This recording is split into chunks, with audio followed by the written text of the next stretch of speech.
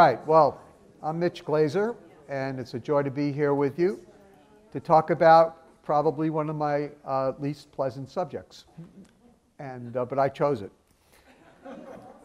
And so uh, I, am looking forward to the discussion, and um, we might wait uh, to the end for questions. We'll see what the mood is. Uh, but I don't mind having it a little bit interactive since it is a workshop. So do that. And there we go. So let's pray. Lord, thank you for your love and goodness. Thank you for the opportunity to uh, explore this uh, topic and the impact of the topic of supersessionism and replacement theology on your work in reaching your people through your Son. In Yeshua's name. Amen. Now, um, I'm going to do this in, in a couple different ways. I mean, if you were here for Craig Blaising's uh, lecture this morning, then uh, you've already had pure brilliance, which I could not produce anyway, so it's a good thing it was done. So uh, Dr. Blaising was just fantastic and uh, really expressed it uh, from a, a, more of a overarching theological perspective, where supersessionism falls uh, in the theological discussion. And what he did that was really terrific was give an alternative uh, on kingdom theology. At least that's what he's named. He's progressed beyond progressive dispensationalism. And so on kingdom theology, which is pretty good. Now, we have formed a group, which you can pray for, that met all day on Monday, to actually talk about ways to not counter, not strike back, but to just rebalance the church when it comes to leaving Israel out of the biblical narrative. And there were some pretty heavy hitters on this uh, committee. And we intend to hope, hopefully keep this going. And uh, we've done some interesting things already. Chosen People did, and we're bringing that to the table. Uh, we actually did a very high powered, thorough, detailed survey. Actually, we didn't do it, Lifeway Research did it. Lifeway Research is the research department of the Southern Baptist, but they go beyond Southern Baptist concerns. And we asked the question what, two questions. What do millennials think about the nation of Israel and Israel's role in the plan of God? And then, secondly, how does that role differ from that of their evangelical parents? So, has there been a shift? Now, a lot of people say, oh, my, you know, the sky's falling. There's a huge shift, and you know, pretty soon, you know, nobody, nobody in the church is going to think Israel has anything to do with God's plan. It's not so bad. Uh, we can't release everything yet, but I will tell you one thing that actually was incredibly encouraging. Besides the fact that we were right. I mean, that was, that's always pleasant. Even when you don't want to be right, it's good to be right. So there is definitely a, a decline. Uh, the generation by generation, because we, we asked age, and so, by generation by generation, there is definitely a decline in the, uh, a positive view towards Israel, uh, politically, sociologically, historically, and a growing negative view on Israel's role biblically and theologically. So, on both counts, we're definitely going down, but I wouldn't say the slope is as slippery because most of the non yes responses were not strong negatives, but rather I don't knows. Now, to me, that's an opportunity. And so, if somebody asked me, based upon a cursory reading of this very extensive survey, 20, two, over 2,000 participants, took, takes 20 minutes to do the survey. It's really thorough. And so, if, if you ask me, you know, what, at the end of it, what's the opportunity? The opportunity really is with the I don't knows. And what's also curious to me is to see that, number one, if the pastors are not millennials, then people are not really buying into what their pastors believe. So that's, that's, that's important, especially when you're doing a conference like we're doing at a school like this, where we can talk openly and honestly with the pastors about how they, what they believe about the, this topic. We might do a whole follow up survey for pastors, but what do they believe on it about the role of Israel in the plan of God, and how are they going to teach it, and all of these things, because obviously not, if they believe it, something's not getting across. And I'm talking about the pastors in the 50 to 65 year old range. Now, the interesting thing for me, of course, since I raised two millennials who are still millennials, one's a cusper, one's a real millennial. Uh, the interesting thing is, is that some of a lot of the pastors are millennials. And even more so, a lot of the professors are millennials now. And so, you know, they are unsure. And, and, and they are. They are unsure. I, I talked to some of the young faculty. They're not, they're not totally sure. They're open. And, uh, and so we have a lot of work to do, but mostly among our younger generation. So I'm going to define supersessionism, but first we're going to do an exercise. So open your Bibles to the second chapter of Isaiah. Most of the impact of supersessionism biblically is in the Old Testament and theologically in the New Testament. Because in the Old Testament, there's not, well, there's just not a lot of discussion about how the Old Testament is fulfilled in the Old Testament. Get what I mean? It would not be a discussion. Unless you want a fancy hermeneutical word, don't get too excited about it. It's intertextuality. There is such a concept. And you see that, for example, with Jeremiah and, um, and with Daniel. And uh, Jeremiah predicted it. Daniel talked about it. They'd be in captivity, the Jewish people, for 70 years. Remember that part? Okay. That is intertextuality. That is a uh, Old Testament prophet quoting another Old Testament prophet as a prophecy fulfilled. Okay? There are instances of that, uh, but you know, not a huge number. Uh, most of the problems come in in the New Testament because of the ways in which the New Testament writers use the Old Testament. And then that is where most of the supersessionist replacement theology, we'll define in a moment, thinking happens. So, what I want to do is uh, just look at Isaiah chapter 2, and uh, we're just going to do a little exposition, have a little fun. Okay? And uh, if you like the Bible, if not, you might want to leave now. That's like, you know, when you get on the plane, they say if you're not going to New York, you might want to get off the plane now. So, if you don't like the Bible, you probably will not like this. Okay, so I'm looking at Isaiah chapter 2 at verse 1. And again, this is just an exercise. So the word which Isaiah the son of Amos saw concerning Judah and Jerusalem. Now, if I just had an English Bible, boy, that would really confuse the daylights out of me because it's the word, davar, which the son of Amos saw. And it's the word to see. And so, how do you see a word? Well, uh, the Hebrew word for saw there is not the average word. It could mean that he experienced it. That I throw in for free. Okay, verse 2. Now it will come about in the, that in the last days, the mountain of the house of the Lord will be established as the chief of the mountains and will be raised above the hills, and all the nations will stream to it. All righty. So now uh, let's interpret this. Okay? And so it, this uh, word that Isaiah sees takes place in the last days. Okay? So, in your opinion, when are the last days? If you are a seminary professor, please do not answer this. This you should know that. But when are, when are the last days? We're in the last days. All right, everybody think we're in the last days? Okay, so how long have the last days been, been, been going?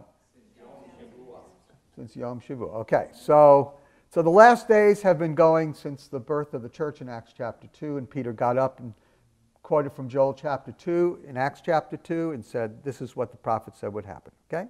So in the last days, all these things will happen. Okay, I can accept that.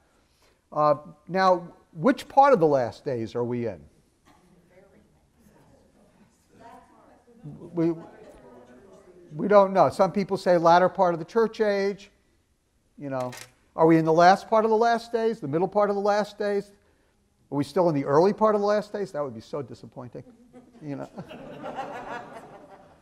okay. All right. So, okay, so we're agnostic about it. So, uh, we don't know, but we know that when Yeshua rose from the dead, poured out his Holy Spirit, and Peter got up and said, These are the last days. Um, okay. Uh, we don't know what part of the last days are, but just a, a curious question. Uh, when do you think Peter and the disciples thought Jesus would actually return? Immediately. Immediately. Okay, so this is getting long in the tooth. Okay. So in the last days. So we're not sure what part of the last days this is going to happen in, but we have a feeling from the rest of the text that the last days Isaiah is referring to are not these last days, but maybe the last days when sort of we're in the kingdom. Because as you look at this description, I think you'll see that.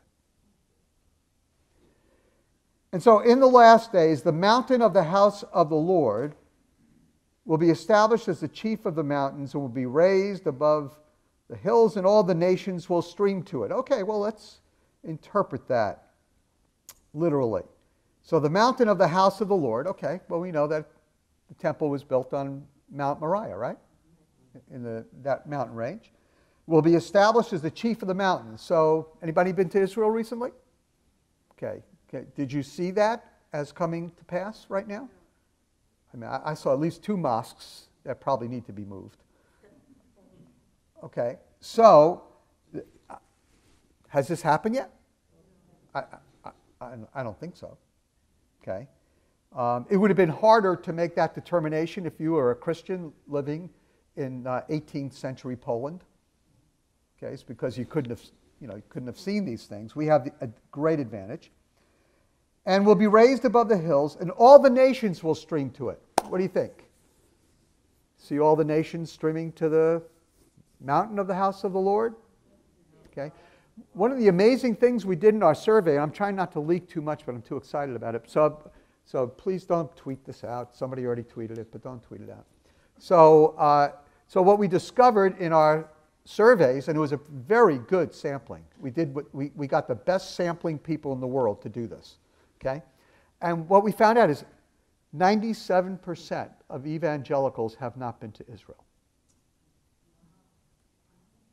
So if you're a tour operator, you got a lot of market potential. Okay. So 97%. So all the nations will stream to it. Now, if, if the believers haven't streamed there yet, then, then you, can, you can bet most people haven't streamed there yet.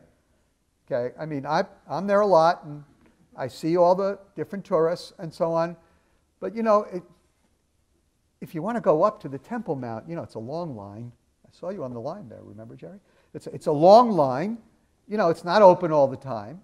And, you know, the Waka Testi, you know, and uh, Jordan's running it. Okay, so whatever is going to be, I don't think has happened yet, right?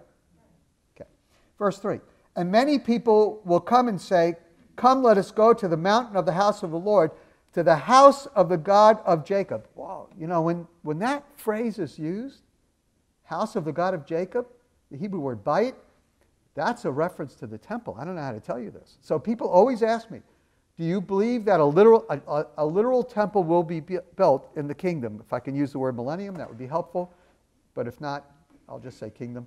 So, do I actually believe that a temple will be rebuilt in the kingdom? Now, some people are really excited about the rebuilding of the temple. How many of you are excited about that? Okay, yeah. You know, that's where the Antichrist is going to sit.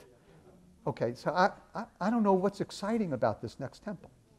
Okay, okay, so try not to be too excited. But I'm really excited about the one after that. Okay, because the one after that is going to be the one for the house of the God of Jacob. Now, I understand that Ezekiel 40 through 48 is not the easiest bunch of chapters to interpret. It's apocalyptic language. It's, you know, and, uh, you know, I had a, a certain kind of uh, background uh, before I became a believer, so I have a different way of re- relating to Ezekiel 40 through 48 through kind of a drug haze, you know what I mean? And and I saw some things like that before I was saved, um, but not with my eyes, it was in my head, you know. And, but Ezekiel 40 through 48 is difficult, difficult. But you know, one of the things about apocalyptic language is it has a physical reality to it. If, if you read the book of Revelation and said it's all apocalyptic language, what, do you, are you going to go to heaven? What, I mean, just because you don't believe the streets are literally paved with gold, you know, it, it might, may not be that exactly, but it has a physical reality to it, doesn't it? You know, when I was in uh, young pup in Bible college, one of my uh, professors was talking about, we were in the class on the book of Revelation, and he taught, you know, there was this pretty graphic description of hell, and it wasn't Dante's, and uh, it was John's, and he was going through it, and I was a believer for seven months. They should never have let me into Bible college. And so I raised my hand and I said, Do you really believe that there's going to be a lake of fire and people are going to be? I mean, and I was confusing Dante with John, and because I was a new believer. I said, You really believe all that stuff? Is it really going to be that bad? He said, Well, it's going to be worse. But that's the worst description that John could give. That was John's idea of the worst thing that could happen. So when I look at apocalyptic language and I'm reading through the scripture, whether it be Ezekiel or Revelation or anywhere else in the Old Testament, I might see a lot of symbols and a lot of things happening that you know are not easy to explain, but that doesn't mean at the core of it doesn't have some type of physical reality. Think about that. So, I do believe the temple will stand, and uh, uh, let me keep going. And he says uh, that he may teach us concerning his ways, and that we may walk in his paths, for the law will go forth from Zion, and the word of the Lord from Jerusalem. And I have to add to that, Isaiah, you mean in potentiality, don't you? Okay? Yes, the Bible has come forth from, from Israel, but I think that there's more going on there. Uh, verse 4. And he will judge between the nations, he will render decisions for many peoples. Now, here we go. And they will hammer their sword shears, swords into plowshares, forgive my New York accent, and their spears into pruning hooks. And nation will not lift up sword against nation and never again will they learn war. I want to start singing Down by the Riverside at this time. So, if I were to take this literally, it would mean, of course, that people are using swords in modern warfare and that they're going to turn them into pruning shares for farming.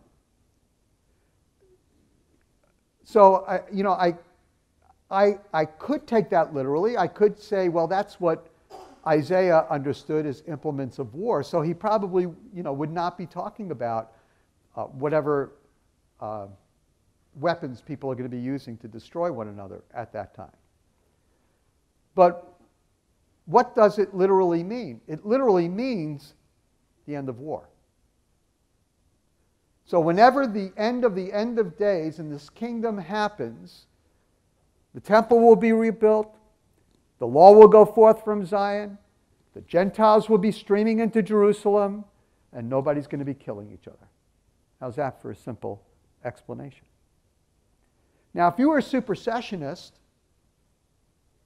okay, you would probably interpret it like this The mountain of the house of the Lord will be established as the chief of the mountains and will be raised above the hills, and all the nations will stream into it. That's a reference to the New Testament church. There's no mountains involved here.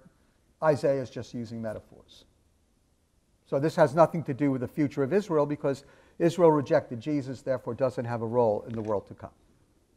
And so many people will come in and say, Come, let's go up to the mountain of the Lord, to the house of the God of Jacob, that he may teach us concerning his ways, may walk in his paths, for the law will go forth from Zion, and the word of the Lord from Jerusalem. Zion and Jerusalem is the church. So there's no reality, physical reality to these words involving Israel because Israel is no longer part of the picture. Verse 4 And he will judge between the nations and render decisions to many peoples, and they will hammer their swords into plowshares and so on and so forth. Nation will not lift up swords anymore. Well, that's the peace we experience in Jesus Christ, in the church, that will continue when he comes again, but it has nothing to do with Israel at all. The capstone of it, of course, is in verse 5, because that tells us who he was actually addressing. In light of all that's going to happen, come, house of Jacob, and let us walk in the light of the Lord. He's not speaking to the house of Jacob, he's speaking to the church, to the faithful. The supersessionists would agree with the old school traditional amillennialist who said that Abraham was the father of the Christian church. Yeah. Louis Berkhof, page two. Okay? An old, uh, wonderful, godly, but slightly wrong theologian. now, let's define it a little bit. Just my own statement first. Supersessionism is on the rise today, capturing a new generation of adherents. This position asserts that the Jewish people no longer have a role in the plan of God for the ages due to their disobedience and rejection of Christ. It is the theological bedrock that undergirds the views of most evangelicals who oppose the modern state of Israel. Now, why do I throw that in? Well, besides it being true. The reason I throw that in is because, again, this is not just a lecture on supersessionism. This is a lecture on the impact of supersessionism on the Messianic Jewish movement and on Jewish missions. That's what this is all about. And so when you have supersessionists who become vitriolic in their language and rhetoric about Israel, and their treatment of Palestinians or culture. You have to rip the curtains apart to look down deep at their theology, and you will discover, for the most part, that the real problem folks have with Israel is that Israel shouldn't exist. That's really the problem. Uh, I'll show you. So, supersession, and therefore, this is Mike Vlach appears to be based on two core beliefs. Have you read Has, Has the Church Replaced Israel, Israel by Michael Vlach? Fantastic book. And uh, he's, he's got a real gentle spirit, unlike me. So, supersessionism, therefore, appears to be based on two core beliefs. The nation of Israel has somehow completed or forfeited its status as the people of God and will never again possess a unique role or function apart from the church.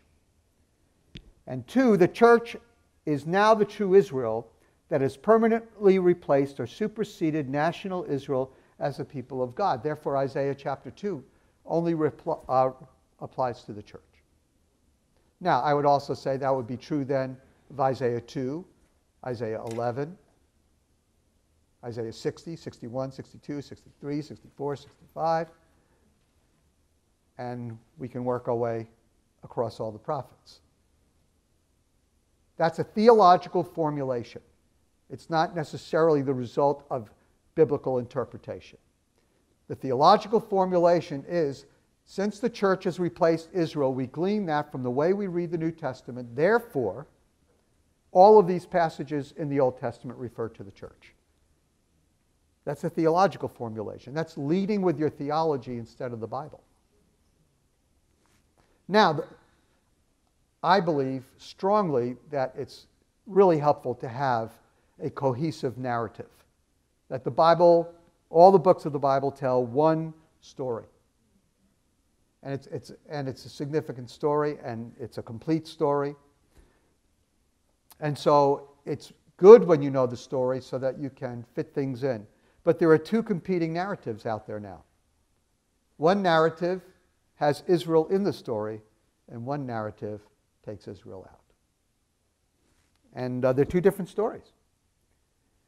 Uh, Vlach says supersessionism is the view that the New Testament church is the new and or true Israel that has forever superseded the national Israel as the people of God. Okay, any questions? No. Okay, good. Uh, now, a lot of the uh, discussion about supersessionism uh, today, because we live in an era, thank God, when Israel is, has become a modern nation. And however you view that as a fulfillment of prophecy or not, or how you nuance the fulfillment of prophecy, that's a, that's a, a big discussion. But be, simply because Israel is in the land, and many, many Christians say this is because God brought them back to the land, because God gave them the land. You are all now Christian Zionists whether you like Christian Zionism or not, or even if you, you may have never even heard of it. Okay? But you are now Christian Zionists. And so there are a group of people who are your enemies. So I, would like to introduce you to them.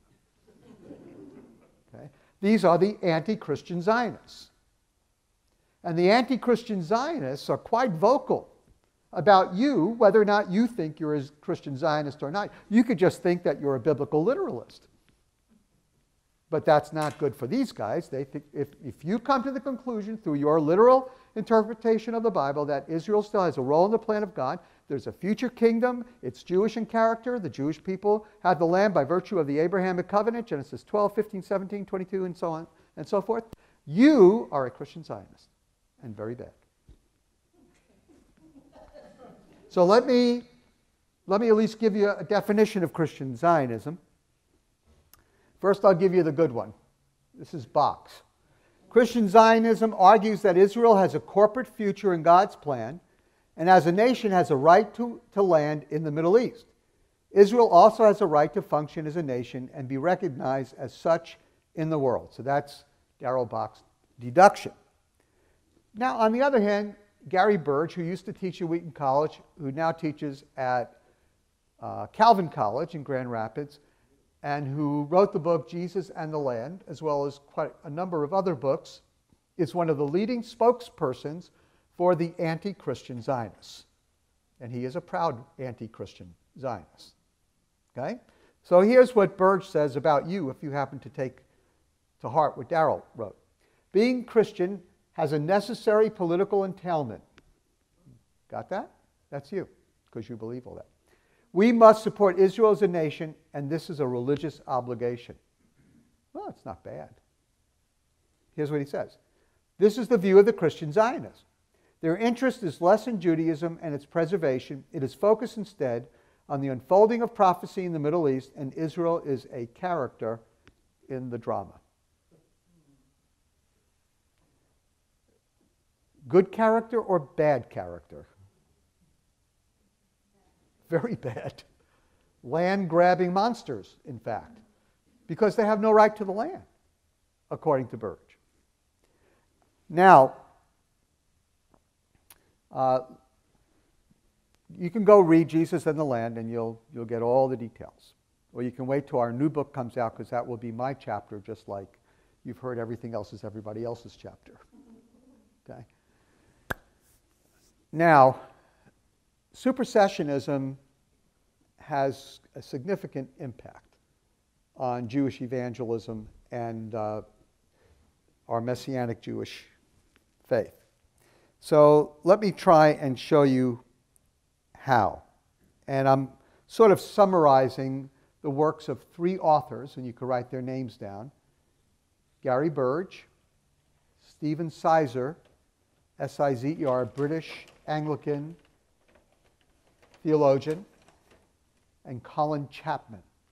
Colin Chapman is a, an evangelical Anglican long term missionary to the Middle East who has written uh, quite a number of books about Jerusalem and about Israel. All three are supersessionists. They do not believe that the land ever belonged to the Jewish people. And if it did, it was forfeited uh, because of the rejection of Christ.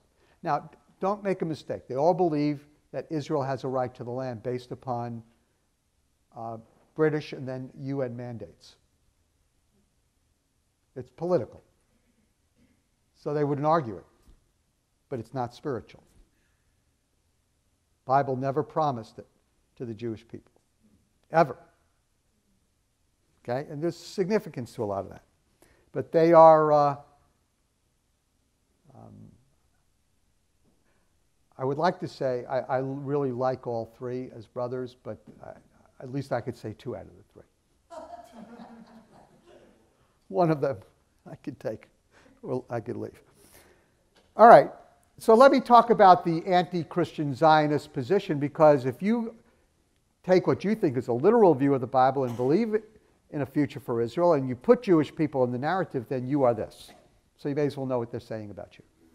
So uh, the new anti Christian Zionists are generally supersessionist in theology. Now, you've all heard of Christ at the Checkpoint. How many of you have heard of Christ at the Checkpoint? Okay. That's sponsored by Bethlehem Bible College. And um, the new one's coming up soon. Michael Brown is speaking. And uh, it's coming up soon.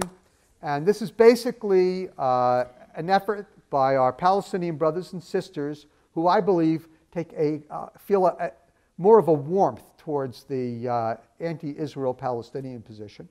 Uh, what you have to understand is that in this conference, underlying it, there'll be all sorts of dis- discussions, and you can watch some of it. It's online, you can watch it. But in general, I know them. They're supersession, every one of them. They do not believe Israel has land. Yeah. Christ at the checkpoint. checkpoint. Yeah, not Christ at the check mark. Okay, yeah.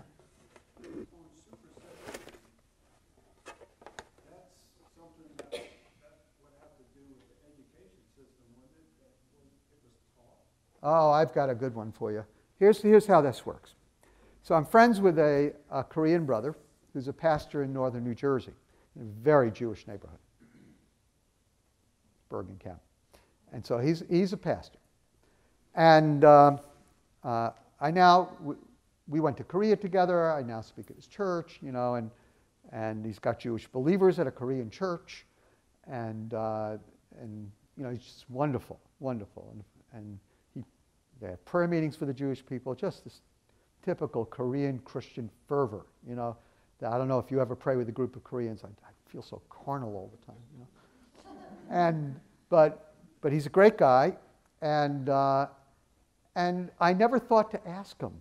So one day we're sitting at lunch, and he said, uh, yeah, and we were eating kimchi, not bagels and lox. And he said, he said, you know, I wasn't raised this way, to, the way I feel about Israel. I said, I never thought to even ask you. He says, oh, no, no. I was raised as such a supersessionist that I didn't even know I was a supersessionist. It was nothing that I ever chose. It was simply the way I read the Bible. I said, Wow, so what happened? He said, Well, one day, and he's not the spookiest Christian in the world. You know, he's kind of normal. He was Presbyterian, you know. And, and so he said, I was doing my devotions, and the Lord spoke to me clearly. And as I was reading the Old Testament, and he just said, that's really Israel, not the church. And he said, I, I couldn't believe God told me that, and but in a flash, I understood it. I had been interpreting every time the Old Testament mentioned Israel, I thought of the church. Every time, except in the judgment parts. And in the New Testament, every time Israel was mentioned, I thought it was the church, the Israel of God. But now I realize that God was, the Bible was speaking about ethnic Israel, national Israel. The promises were to national Israel, not just the, the bad ones, the good ones too. And they were physical, they were literal, they involved the land, not, not just an allegorical, spiritualized, you know, uh, church. It was, it was real. I said, Well, that must have been a shocker. He says, Oh, I had to repent for weeks. I said, What, what did you do? After that, he said, Well, I had to go before my church. And I repented before my church.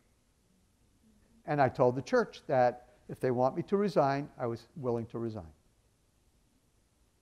And uh, I said, So did you rebuild the church? He said, No, not really uh, I told the church to pray about it and came back next Sunday and everybody else repented. we lost a few, but mostly everybody repented. And, uh, So, is it educational? It's educational in the same way that I was taught that Jews don't believe in Jesus. Never had a course in it. I don't remember my mother ever saying anything. All I know is that was my viewpoint on life. Did I grow up thinking Christians hated Jews? Of course I did.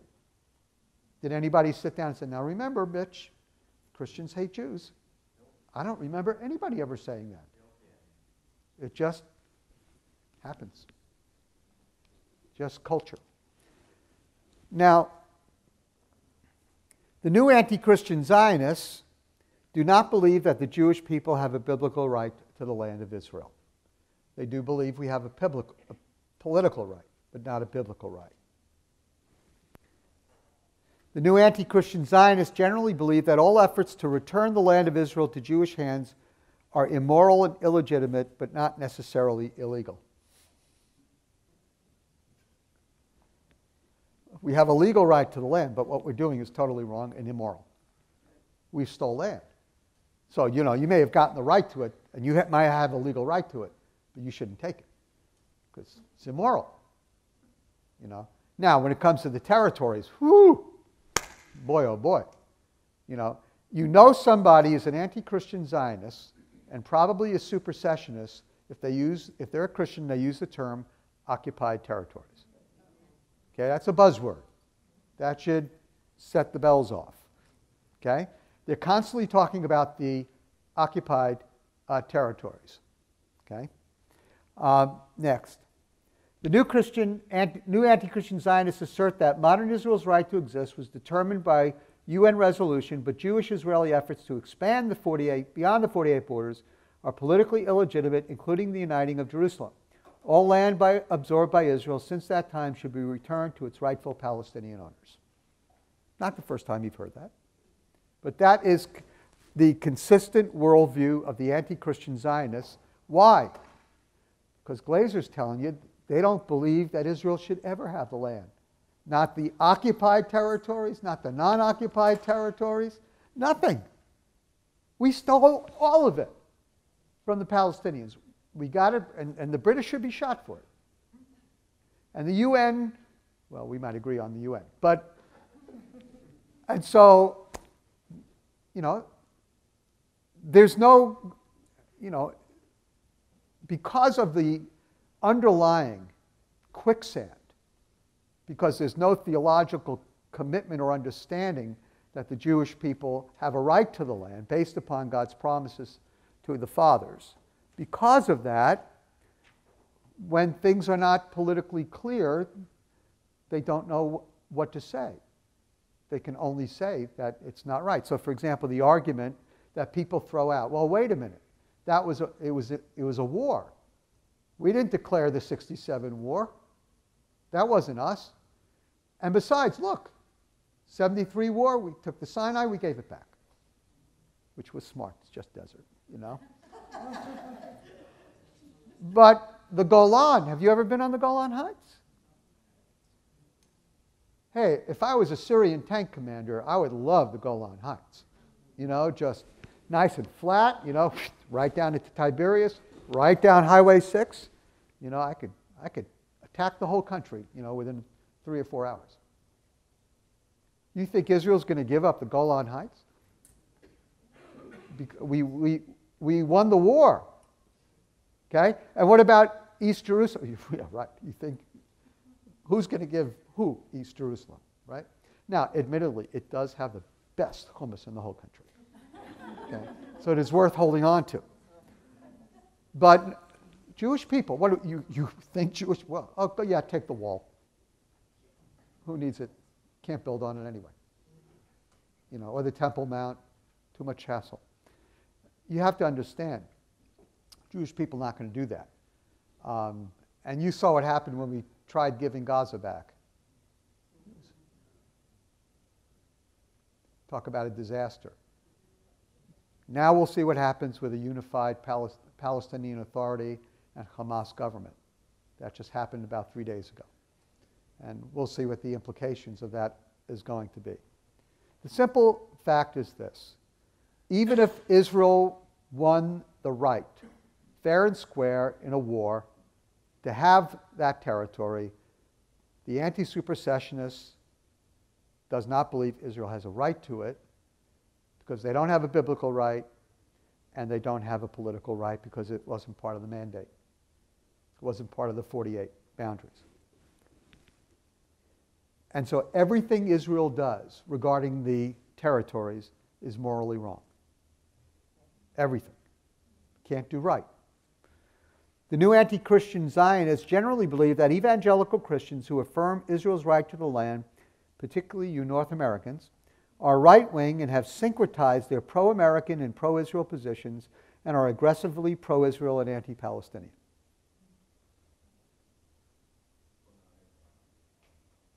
That, uh, well, you're, an, you're a Christian Zionist. Okay? You don't like this description, do you? That's, that's how you're thought of, though. Okay? Um, well, there's a lot of things wrong in there. Yeah.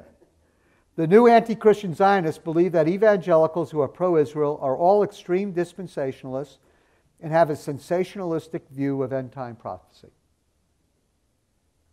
Generally, that's the way people look at, look at it. And uh, how many of you still have the late great planet Earth next to your bedside? Okay. okay. How many of you believe that in the book of Revelation that the locusts really are a new form of attack helicopters developed by the U.S. Army? Okay. All right. So you know, Hal Lindsey did his best. You know, it's always difficult to interpret ancient prophecies in modern terms and so on. But basically, everything we believe, just, just because we believe literally that God gave the land to Abraham, Isaac, and Jacob, just because we believe this, we're a bunch of nuts. We are marginalized, eccentric group of nuts, just so you know. And that comes across in all the literature uh, of the anti Christian Zionists. The new anti Christian Zionists believe that the premillennial and especially dispensational positions, which affirm the right of Jewish people to the land of Israel, are new to church history and therefore should be viewed as the recent and eccentric teachings of a marginalized of a marginal group. Well, you know, there's a lot to learn here. Uh, basically, they write it all off to uh, J.N. Darby a Plymouth Brethren, uh, minister in England who allegedly coined the word in the late 1700s. And so they all say that this is new. When, okay, we admit that uh, before, the, before there was an English language, there was no dispensationalism. But to believe that the church never believed in a literal right of the Jewish people to the land of Israel and that this is an invention of 200 years ago and eccentric to boot means you haven't studied church history. So I got Mike Vlach in our new book to write an entire chapter on the view of the land belonging to the Jewish people from the vantage point of the church fathers starting in the second century. And it's a great chapter. I've read it. It's fantastic. At, so it's, it's just patently false. Okay? And it's a silly argument. The new anti Christian Zionists believe that the pro Israel Zionist perspective of the conservative and fundamental evangelical church in North America has hurt the cause of evangelization among Muslims. Well, there's truth to that. To that. Well, if I'm going to say that the supersessionism of historic Christians, which has led to the, some of the really bad writings of Martin Luther and others, has negatively influenced the church when it comes to Jewish people and Jewish evangelism, I think it's fair to admit that some of the things that the church has said regarding, you know, every Muslim a terrorist and all these other kinds of things that we're saying, that's pretty prevalent because, you know, North Americans are met. Listen, I lived in New York. I experienced 9 11. I wasn't happy. Okay, really wasn't happy. Okay, especially when uh, there was a huge uh, mosque and uh, Islamic center right near where my girls were going to school uh, on the Upper East Side of Manhattan. And uh, this imam came out right after 9 11 and said that it was the Jews' fault and the Mossad was involved with the fall of the towers. Okay? Next thing you know, he's gone. Nobody even knows where he is. He didn't stay. Okay? So, yeah, I mean, there's certain things, they're ridiculous things that make you upset. But has the pro Israel position of the church, and maybe sometimes, see, it's not the pro Israel position of the church, it's been the anti Muslim position of the church, just like the anti Jewish position of the church. Okay? Jesus died for everybody, right? Call me a bleeding heart liberal. I am a New Yorker. Okay? You know, but for heaven's sake, you know, Christians need to watch their rhetoric. Okay? If we create a climate of antagonism and we depict people as evil, then make no bones about it. People will not want to reach them for Christ. And, and we need to create a, a realistic climate that encourages people to share the gospel with, with others. Um, so to clarify, you probably say that, you know, um, I think Zionist beliefs of sorts, as, as far as you accredit, accredit you know, um, that the perception is basically following that school of thought doesn't necessarily make you not a witness to Muslims, I would say, but, but following the anti-Muslim rhetoric and kind of hate type idea truly does, because Yes. uh, on the other side, I think what we've seen today is to be relevant, I have to conform my beliefs to a certain thing, and that will win people to Christ, and And that's- out the role of the Holy Spirit. And so, And that's nonsense. Right, Greg? That's nonsense. Yeah. Uh, we'll, I mean, we'll deal a little bit with moral equivalence. Uh, that's a value of the world. Everybody's the same. Everything's the same. Everything's as wrong as anything else. I mean, every, you know, there's, it's a very boring world to want to be. I don't know why certain people would want to live in a world like that. It's very boring, you know. But no, this, we're not talking about uh, moral equivalence here. The only equivalence we're saying is when you talk harshly about a race, a race of people or an ethnic group, and people listen to you or read your tweets, then people are going to not like that group. You know, it's harder to pray for people you hate, isn't it? I think so. Yeah. Um, I think on our basis level, anything we think or believe, there's an element of what's in it for me. Yes. So let's say you have, I think there probably are a lot of supersessionists that are just that because they don't know any better or haven't figured, thought about it. But then those who are actually choosing it to say, I'm going to believe this, what's in it for them? Especially if they're just podunk Texas and never going to be in the Middle East, never going to have anything to do with the Middle East or Israel. What's in it for them to be that? I don't know because I'm not one. um, I really, I really don't know what, what's, what's in it for them. I think, I think that maybe spans the ages. I think that uh, the, what's in it for them is feeling that they're doing the right thing. Um, I think probably that's the major thing. I'll, I'll, show you. There's a few other things here that might point to it. Um, a pro Israel position is anti Palestinian by nature. Really? You believe that? I don't believe that. Uh, I wish Tom Doyle was here. Tom was going to do this with me, but had to get out of Dodge.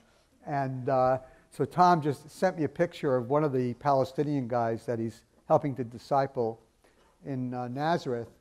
And uh, on, his, on his left arm, uh, he has tattooed the Shema. And what Tom would say, since Tom is not here, I can say it, and for Tom, what Tom would say is all his experience in the Middle East among Muslims, he would say, among, among uh, Arabs, he would say, the, former Muslims, when they get saved, they're radically transformed and tend to believe that the land belongs to the Jewish people and take the fallout for it. They love the, they love the Jewish people. It's a lot of the folks who were raised in more historic Christian churches that have a harder time coming to grips with um, Israel. And, and, and, you know, and Tom and I gone back and forth on that one. He doesn't have, a- he has anecdotal evidence, not really a survey yet. But what's interesting about it is uh, I, my field is uh, mission history, so I look a lot at Jewish mission history and the history of revivals and outpourings of the Spirit. And, and there are a few things that happen. When somebody's radically transformed, or when a, a, society or a city or a nation is transformed, um, people do tend to go back to reading the Bible more literally. And if you do that, it's not encumbered by a lot of theological systems.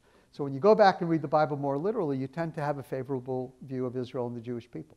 It also produces new music. It also produces evangelism. It, produ- it produces new leaders. I mean, there's a lot of things that are telltale signs of a moving of the Holy Spirit.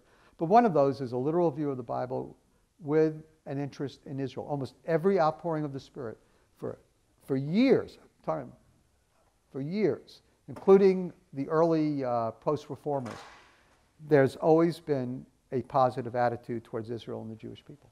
Tom? I have a Christian Arab friend in Bethlehem and East Jerusalem, and his experience is the same as what Tom Doyle's. Every Muslim that he leads to the Lord, and they study the scriptures again, doesn't have an anti-Israel view. They, Right. And ones that struggle with it, they said, I can learn to love them because this is the word of God. And Paul was a Jew, and he seemed to love everybody. Right. It's an interesting phenomena, but I'd lo- I, I would love to see a survey, but that'd be a hard, hard survey to take. Yeah. Um, can I ask, like, with all this information, I've had a couple of recent conversations with college students who are leaning towards super cessationism, or how to say it. Supersessionism. Yes, thank you. Um, and both times in my mind, I've frozen because I'm like, I don't even know where to begin with you. There's just so much, you know? Ja- And so I feel like, A literal, a literal reading of Genesis 12, 1 through 3. so is that a good place to That's a great place to start. It's an excellent question. Genesis 12, 1 through 3, the Abrahamic covenant, and then Genesis 15, really the whole chapter, but particularly near the end, after the uh, God puts Abram asleep, cuts the animal, remember, cuts the animals in half, and then the torch and the uh, pot come come through. It's basically an image of God walking through the cut animals. Uh, that's that shows that that the kind of covenant that was made is totally unconditional. It depends upon God walking through, and it's irreversible because you can't reconnect the bodies. Okay, so it's a powerful covenant. And at the end of the statement of that vision uh, of Abraham, or dream, at the end of it, God gives Abram the boundaries of the land of Israel, which we've never achieved yet. But in this Isaiah 2 kingdom, we will. But so that's that's a good place to start, in my opinion. Okay, just a few more. The new anti Christian Zionists often utilize the rhetoric and argumentation of the Palestinian narrative and express the viewpoint of the Palestinian media. It's a very serious uh, issue. Um, have you ever read the Kairos document?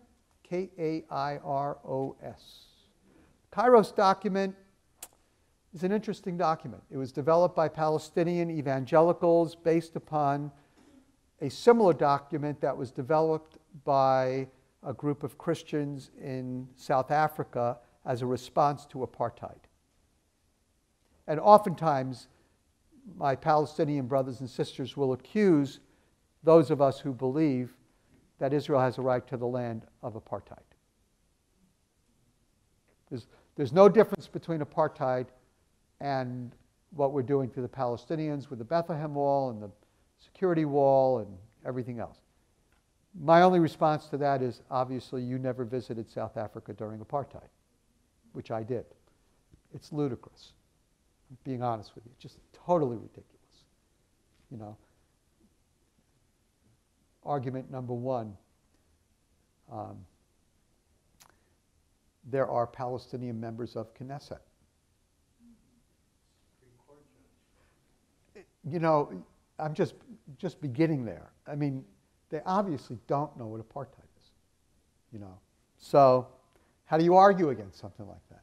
Actually, uh, the argument saying that it was similar to apartheid was developed by an extraordinarily liberal left-wing Israeli, and then embraced by the uh, Palestinians.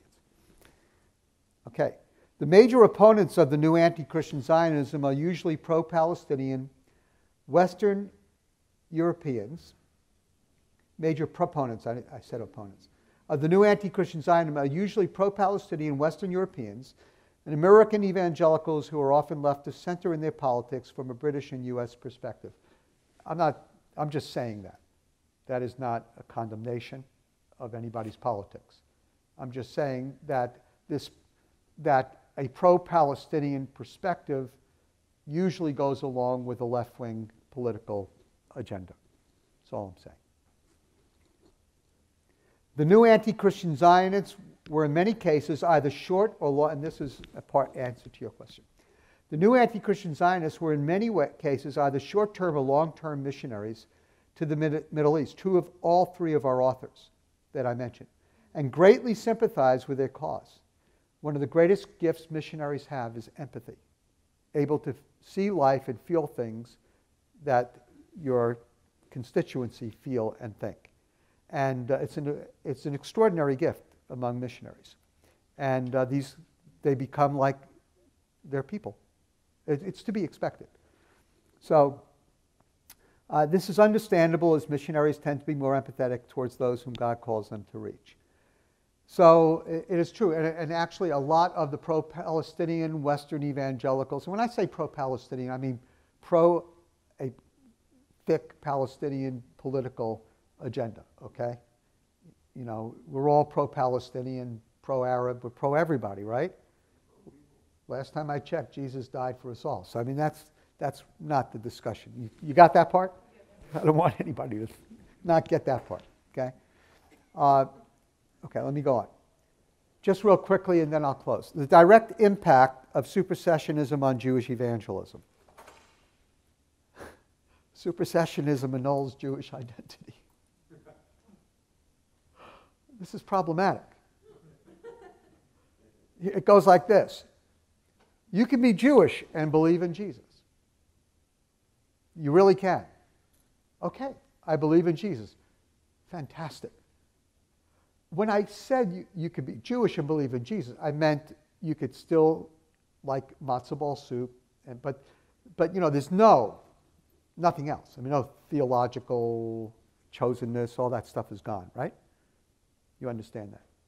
So you're a Jew, but you're a Jew like an Italian's an Italian. There's no covenants, there's no obligations.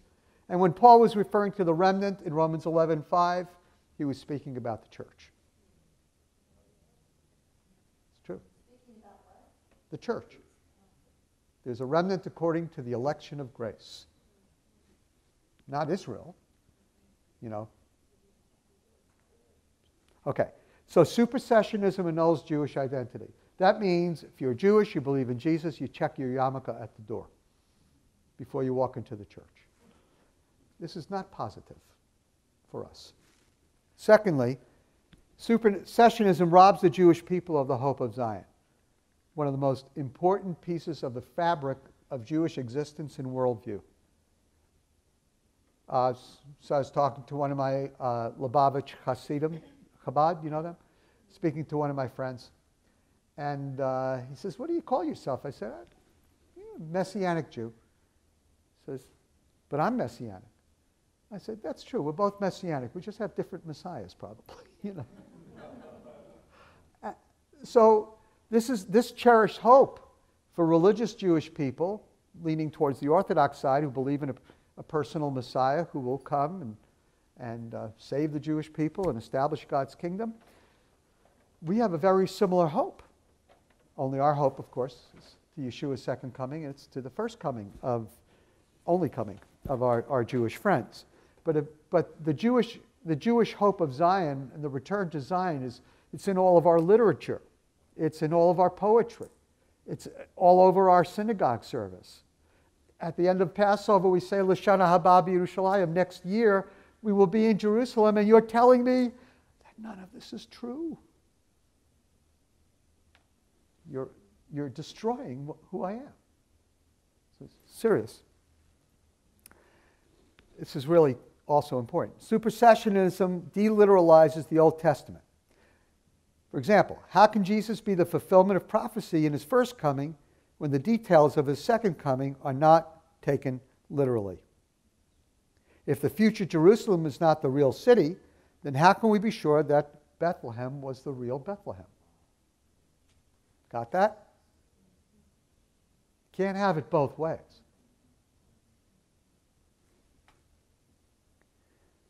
Supersessionism, when combined with politics, creates a negative attitude toward Israel and the Jewish people.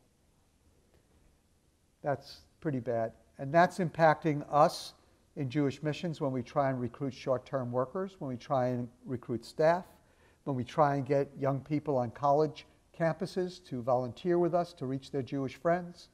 You know, would you like to reach the Jewish friends on your campus? Uh, sure. How do you feel about Palestinians? Can we reach the Palestinians too? I said, what? Well, we're reaching Jewish people. Yeah, but we, we have to show that we don't hate the Palestinians. I said, well, I don't hate Palestinians. You know, it goes on and on and on. It's, it's really messing things up. And I think that as Christians, we are our brother's keepers and we're responsible for our words, what we say and what we write. And I'm trying to be responsible as I speak. And so a negative rhetoric towards Israel will make the uninformed, innocent, and those who look to you for guidance feel the same way about Israel without any of your restraint or any of your more mature understanding of the situation. And so we can really mess things up by doing that. Supersessionism hurts Jewish evangelism as no, there's no longer any theological motivation for reaching Jewish people with the gospel other than their need to be saved. You see, the greatest argument theologically for Jewish evangelism that has worked for centuries, and missions to the Jews have understood this argument and used it to inspire Gentile Christians to reach Jewish people for hundreds upon hundreds upon hundreds upon hundreds of years. And like the Word of God, the argument never changes. And that is when the Jewish people turn to Christ, a Romans 11, then Yeshua will return. If you want to participate in the second coming of the Lord, then let's get out there and reach Jewish people for the Messiah. Brothers and sisters, that is true. It is all through Scripture. When the Jewish people repent, then Yeshua will return, and the Jewish people will then become what God always wanted the Jewish people to be. Isaiah 2 will happen in 3D, 4D, 5D, 5D. It will all happen when the Jewish people say, Blessed is he who comes in the name of the Lord. And the Lord comes. Take that argument away. We're 14 million among 5 billion. And there's just no need to reach the Jewish people, which I think is exactly Satan's goal. He's not very smart, and he's definitely not omniscient. And he doesn't understand that he can't stop God's plan. He can't. But what we're experiencing now is that God's going to just have to override the church again in order to get done what he needs to get done. But wouldn't it be much better and a greater joy if we were to participate with God and bring the gospel to the Jewish people to the end that the promise of God to Abram will come to pass. And through you, all the families of the earth will be blessed. All right, I'll be around for a few questions, but then I have to run downstairs and teach you again. So let's pray. Abba, thank you for your goodness and love. Thank you, Lord, for the truth of your word. Help us to be faithful to it in every way. We pray for the peace of Jerusalem, and we pray for those who uh, oppose the peace of Jerusalem. We pray that no matter who they are, you might turn their hearts and uh, reign uh, on the throne of their life and Lord, we just know that when you're in charge of their life, that they will have soft and tender hearts to Jerusalem. And Lord, we pray for that in the great name of Yeshua. Amen. Thank you.